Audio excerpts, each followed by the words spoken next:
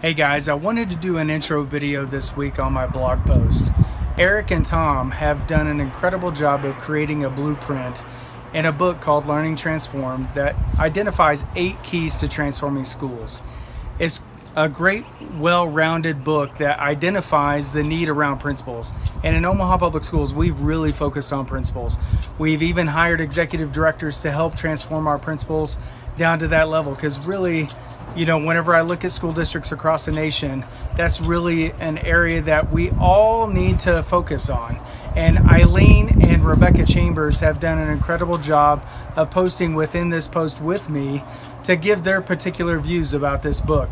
I'm super excited about it. I hope you look at it, read the book, buy it. It's great, and I hope it helps you in your daily life as we help transform education. Thanks.